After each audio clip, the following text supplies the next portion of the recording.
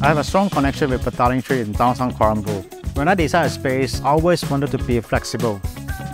It needs to be served multiple users. I realized that we can do more than just design something beautiful. It is how we make use of a space that adds soul to a building. My goal is to transform the area around Rex KL and revitalize it again one day so that the downtown area can be something that the people of KL can continue to be proud of.